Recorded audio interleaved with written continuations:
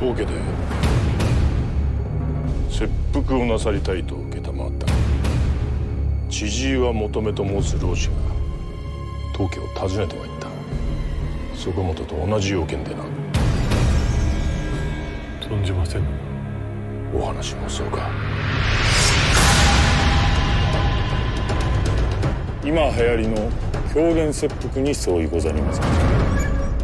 流行り病のように風靡し諸侯の方々も手を焼いておる次第。狂言切腹は姑息な貧乏老師たちの間では申し上げたき儀がござる。何しに参られた？こちらに参身の手前が存じよりのもの。父上！待ってくれぬか？美穂殿は命を懸けてお守りしたいお方です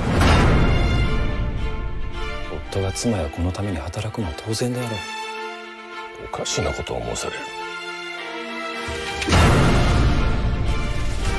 武士も血の通うた人間であろう。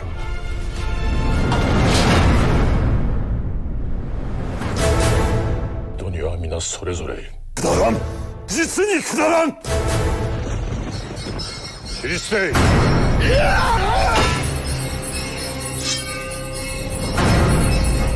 一日だけどうかお願いでござる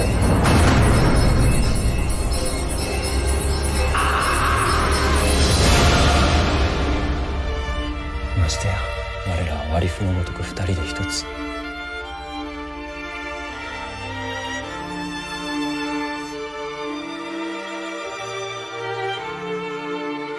武士に二言はござらぬ。